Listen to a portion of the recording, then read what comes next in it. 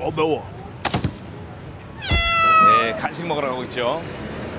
근데 보통은 한국에서 이걸 간식으로 안 먹고 레스토랑에서 먹는 건데. 어이 벌써 줄이.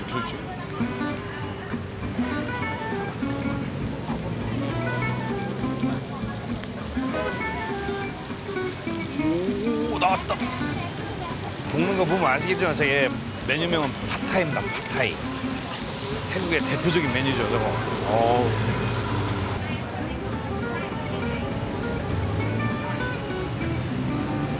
네, 우리로 치면 정말 뭐랄까 그 국민 간식 떡볶이 같은 느낌입니다.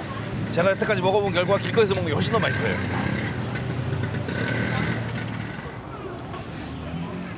커마 팟타이 two egg.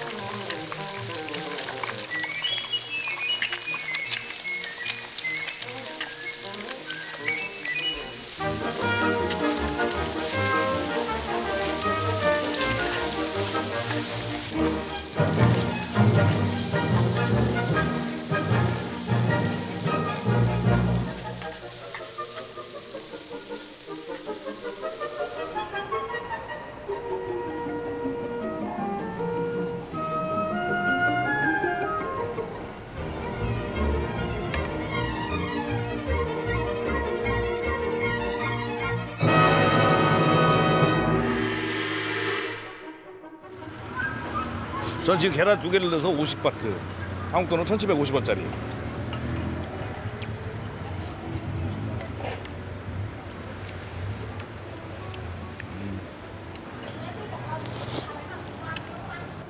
우리로 치면 떡볶이를 레스토랑에서 먹는 것보다 길거리에서 에, 이쑤시개로 찍어 먹는 게 맛있듯이 찌그래 더 맛있어 이게.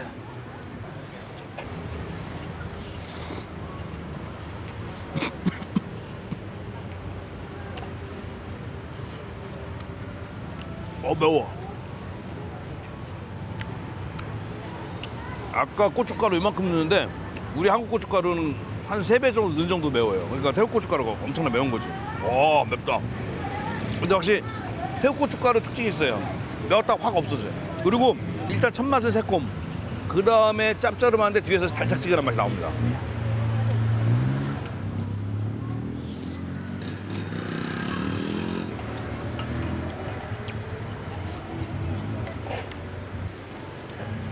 이게 팟타이 하면 팥이 지금 볶, 볶잖아요. 볶다는 뜻이고 타이는 태국이라는 뜻입니다. 그러니까 태국을 볶다 아니면 태국식 볶음 이런 뜻이 그러니까 의도적으로 사실 국민 음식을 만든 거예요.